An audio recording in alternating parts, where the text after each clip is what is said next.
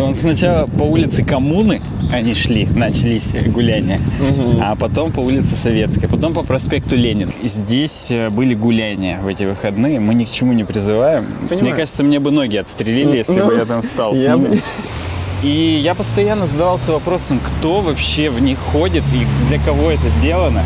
И мне когда-то Алина рассказала, что у нее мама в 90-е терлась в этой тусовке, Так. и там именно просто депутаты своим женам дают заниматься, и они занимаются. Практически Сами друг для друга, ходят. и да, да, да. То есть одна к другой ходит, вторая к третьей, третья к четвертой. а Потом все у первой встречаются в кафешке. И это как бы все на одной улице происходит. Они говорят, так там только одну улицу наезжает. Кстати, не надо было извиняться, надо было пинать дальше. История в том, что чувак себе реально в 90-е отгрохал отдельный лифт, просто выделенный, без подъезда, чтобы ездить на отдельном лифте. А ты имеешь в виду там подземный бункер, где пытали людей до да, революции? Да, да, да. За один год до революции. Вот только построили, сразу пытали. Делает мне три. И я, короче, как в том стикере Гоблича, который так... И мы, короче, туда заходим просто на шару и говорим, это, ребят, Когда офис искали, да? Мы хотим офис снять.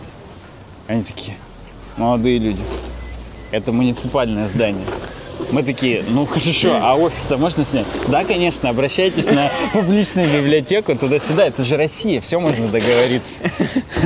Я в тот момент все понял.